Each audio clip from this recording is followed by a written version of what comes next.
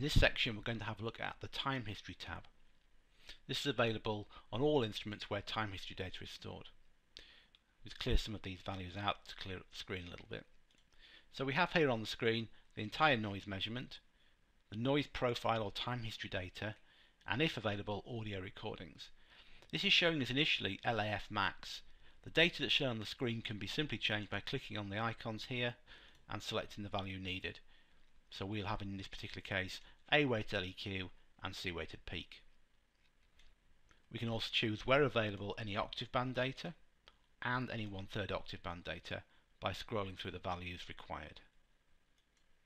We can also zoom in by using the slider on the right hand side and slide back out again to view the entire measurement. We can also use the right hand mouse button to zoom previous, zoom all, center, go to a particular time and zoom in on a particular time period. The time history section also allows us to add markers to the data. So for example, if we knew that this particular spike here was something that we wanted to mark, we can drag the cursor over it, right click and say mark.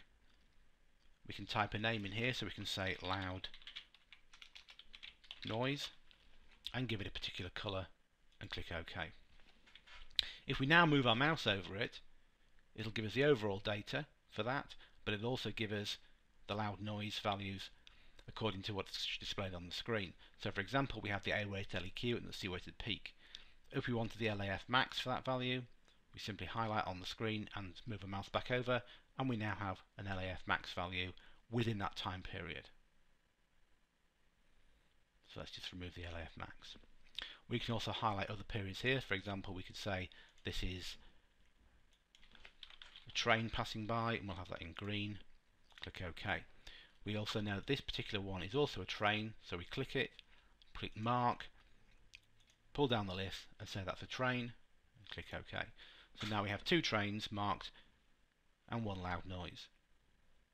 This information can be used later when we print out reports and other information. What we can also do at this point is right click on the screen and say markers list and it'll tell us where they all appear. We can remove markers, we can mark a period or we can mark a point. If we click mark period and we've got a very specific time and time and date period we want to mark, we can do so. So we know when a particular operation is active, we can check whether that's got loud noises within it.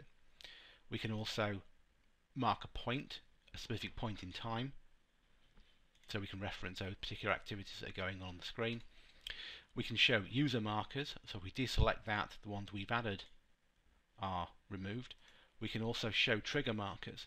Now, with an instrument that's got audio recording, an Optimus Green instrument for example, certain events may be triggered using the acoustic fingerprint function, and these will be indicated on the screen.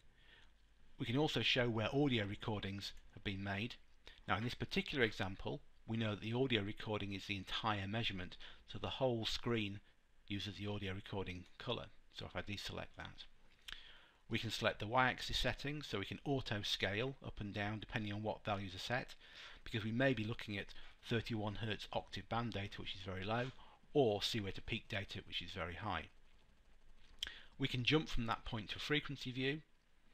We can look at save that image to a file, we can save the data as a CSV or we can create a report using exactly the same features as the quick report at that point.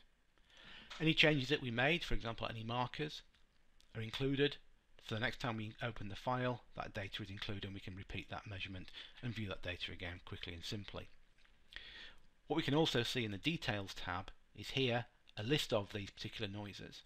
So what I could say is combine similar markers so I know the total LEQ for the trains is 74.6 dB and what is remaining if I take that away I can then say oh I'm not interested in that one. So actually the total noise 72.6 what's remaining and what was generated by the trains. This information can be exported by simply clicking write an export table. So we'll jump back to the time history view. If we have other audio recordings we can play these back and we can jump directly to the frequency tab for a particular section.